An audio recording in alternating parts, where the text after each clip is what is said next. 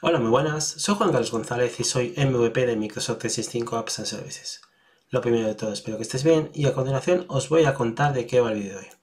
En el vídeo de hoy vamos a ver cómo podemos crear canales en, Teams de Microsoft Teams, pero en este caso utilizando la versión 2.0 del cliente de Teams. Bueno, lo mejor es que no me enrolle y os lo enseño en acción. Dicho esto, dentro vídeo. Bueno, pues aquí estamos en un entorno de demo de Teams en el que, como veis, estoy haciendo uso de cliente de Teams 2.0. Aquí tengo distintos Teams, hoy se visualizan bien comparado con el vídeo previo en el que os comentaba un poco la experiencia de creación de Teams. Y la idea es que dado un team existente, ahora por fin ya puedo añadir un canal. Digo ahora por fin porque las versiones iniciales del cliente 2.0 de Teams pues no se podía. Entonces, ¿cómo añado un canal a un tiene existente, muy sencillo. Vais a hacer clic en los puntos suspensivos, añadir canal. Entonces, a la hora de añadir canal, fijaros que sale la misma experiencia eh, familiar que ya conocéis de elegir eh, el nombre del canal, la descripción y luego el tipo de canal. Aquí vemos alguna diferencia, como por ejemplo que cada tipo de canal viene identificado por un icono representativo, ¿vale? Este es el que significa que este es un canal estándar, este icono es el que significa que esto es un canal compartido y este es el que significa que esto es un canal privado, ¿vale? Entonces, en este caso, fijaros que estamos en el Mark 8 Project Team. Aquí lo que vamos a hacer es em, crear un canal para los monthly meetings, por ejemplo. Vale, vamos a poner aquí un nombre, monthly follow a meeting. Ahí estamos. Y eh, vamos a elegir como tipo, por ejemplo, estándar. Y hacemos clic en crear. Bueno, hasta aquí no tiene mayor misterio. Se va a añadir un canal nuevo que se llama Follow Up Meetings. Vale, lo que vamos a decir ahora aquí es, eh, vamos a crear otro canal nuevo, que en este caso vamos a crearlo de tipo privado, que va a ser, eh, primero de todo, antes de crearlo, voy a ver qué personas forman parte del canal, mm, perdón, del team. Vale, por ejemplo, Néstor y Megan, con eso me vale. Y estas dos personas van a formar parte de mi PMO. Entonces voy a llegar aquí y voy a decir añadir canal. Y eh, vamos a decir PMO, PMO. Y en este caso, pues vamos a elegir que sea de tipo privado. Hacemos clic en crear. Me va a pedir que especifique los, miembros, hemos dicho Néstor, perfecto, y Megan. Bueno, fijaros que podemos proporcionar a Néstor a Megan a owners del canal privado y hacemos clic en añadir. Entonces, bueno, vemos que el canal privado se representa como un canal privado en el cliente clásico. Hasta aquí no hay mucha diferencia. Y ya lo siguiente que podemos hacer es, bueno, vamos a crear un canal compartido. En este caso os aviso, como este es un tenant demo relativamente nuevo, no tengo mm, configurado lo que es la Azure de B2B Direct Connect o Direct Connect con otro tenant. No tengo configurado ni la parte entrante ni saliente. Por lo tanto, yo puedo crear canales compartidos, pero no puedo invitar a externos. Eso que lo tengáis en cuenta. Entonces, en este caso, lo que vamos a decir es que vamos a crear un canal para eh, Collaboration with Partners, por ejemplo.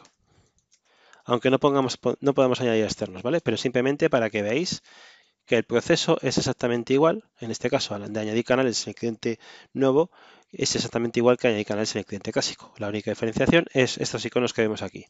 Hacemos clic en compartido en este caso y eh, hacemos clic en crear y lo que es interesante es que ahora podremos añadir a cualquier persona, en este caso de Contoso, al canal compartido, independientemente de que formen parte del team host. Bueno, fijaros que la representación del canal compartido en el listado de canales es exactamente igual.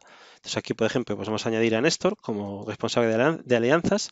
Si intento añadir una dirección externa no me la encuentra porque no tengo configurado eh, Azure de B2B Direct Connect como os comentaba anteriormente. Pero bueno, para el caso me sirve y hacemos clic en compartir. Entonces lo que estoy haciendo es que le estoy compartiendo en el canal a Néstor, que bueno, en este caso Néstor forma parte del, del team del que cuelga este canal compartido, pero poco más.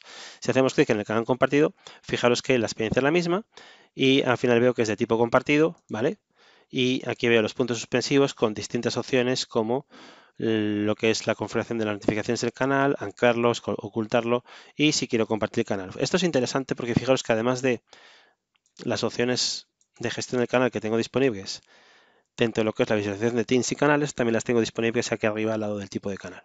Y bueno, fijaros también una cosa interesante que es, aquí tengo este pequeño menú, ¿vale? Que me permite eh, mostrar u ocultar lo que son los detalles del canal.